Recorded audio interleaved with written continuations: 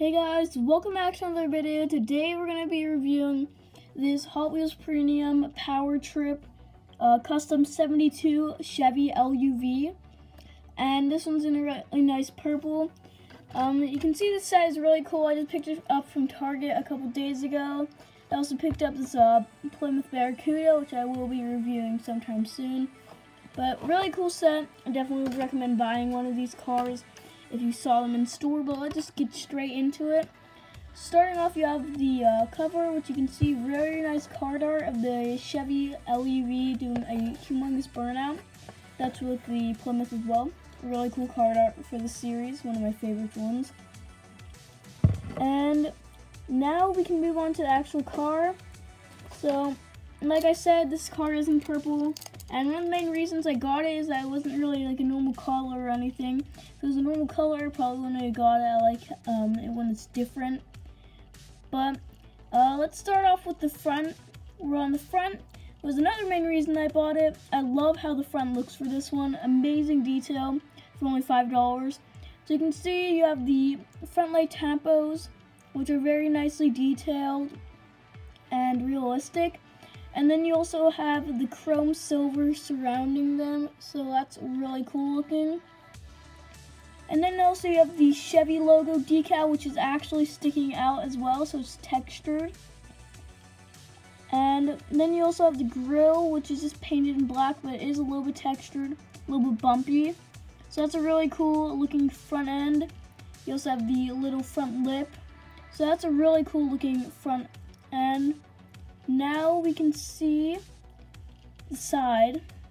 And on the side, you can see the wheels are kind of tucked underneath the fenders. So that's kind of cool looking look. Um, when you look at this thing, it almost, like starting off, it almost looks like a three-wheeler because the front wheels are kind of close together. But, of course, it is not. And then you also have the uh, side door, which has the silver painted door handle, so that's really cool, and they added that. Um, I personally am not a big fan of these rims, but they're not the worst thing ever. And also you have this really cool decal going down the side of like kind of like a rainbowish thing. But now we can move on to the back. So on the back of this, you can see it says Chevrolet in white writing all across the back. And then also you have the rear light tampos. Really cool. I meant uh, tail light tampos, sorry. But you can see it's in three colors. You got the red slash orange, and you got more of a yellow orange, and then you have white all the way at the bottom. Really cool. And if I get close, you can see there is a license plate that says LUV. I'm pretty sure, something like that. So that's pretty cool. And looks like a California plate, if I'm correct. You also have the exhaust, which is coming down right here. Still painted purple. I would have preferred it was um, painted silver or something, but still really cool looking back. Now you can move on to the top, which I'll try to go out a little bit. But you can see the entire uh, bed of this truck is painted like chrome silver. Pretty cool looking. You can see the um, part where the wheel goes in, which is also kind of cool looking. And you have this little sunroof thing. And the thing about most sunroofs that always have is that they're completely flat, but this one's kind of sticking up.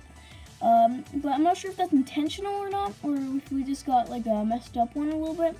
But still, either way, pretty cool.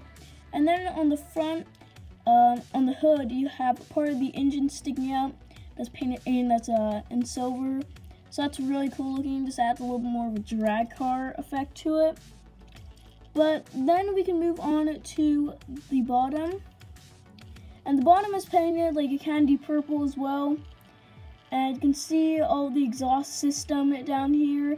And it does have textured tires, so that's cool as well. Um, just a pretty plain bottom, but overall, really nice casting. Uh, I hope you guys enjoyed today's video. If you did, please make sure to smash the like button and subscribe.